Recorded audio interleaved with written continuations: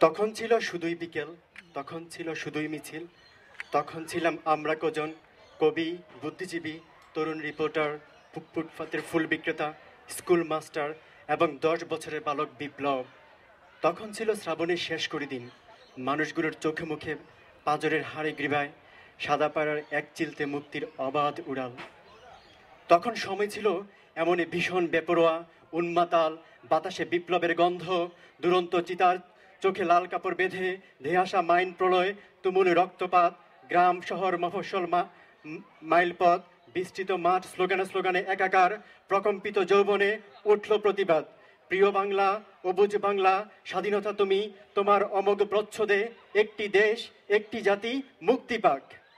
একজন মল্ল লাফিয়ে পড়ে, একজনকে বায়ানের বুকে খুঁচিয়ে একজন ফাঁসির দড়িতে মৃত্যু নিশ্চিত না হওয়া পর্যন্ত ঝুলে এভাবে এক, দুই, তিন, নয় সহস্র লক্ষ প্রতিদিন নির্বিচারে হত্যা, এক মুঠো ভাতের করুণ দাবি, দিনমজুর ধর্ষিতার কষ্টের প্রামাণ্য চিত্র, অন্যায় শাসন শোষণ ব্যতীত কি পেয়েছি নূর হোসেন?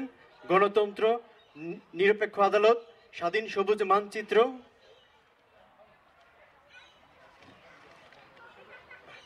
বায়ান্ন উনসত্তর একাত্তর, নব্বই, তখন এবং আজও বুক বিধে ওঠে যখন দেখি পায়ে বিষ্ট হয় অগণিত বিপ্লব।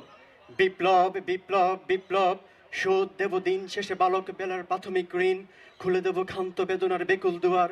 পরিণামে পরাধীনতার ভয় দেখালে নিরস্ত্র কবিতার কুলীন সবাই মিছিল বিপুল মিত্র হব। বিপ্লব বিপ্লব বিপ্লব বলে ডাক দিলে আমরা আবার যুদ্ধে যাব।